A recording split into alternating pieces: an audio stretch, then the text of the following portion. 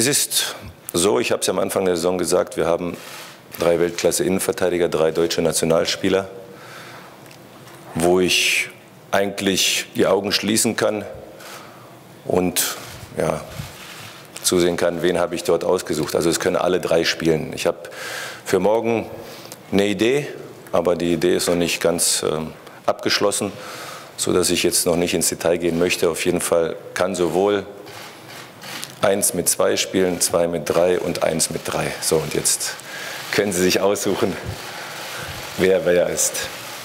Ja, beim Kingsley bin ich sehr glücklich. Ja, wir hatten gestern ein Training. Diejenigen, die jetzt das Wochenende gespielt haben, haben reduziert gearbeitet. Die anderen haben noch etwas mehr gemacht. Und er hat gestern also ist an die Maximalbelastung gegangen, sodass er fit ist für morgen.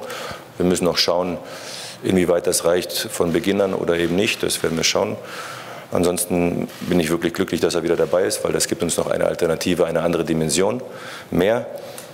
Zu Franck, da muss man, glaube ich, auch nicht allzu viel sagen.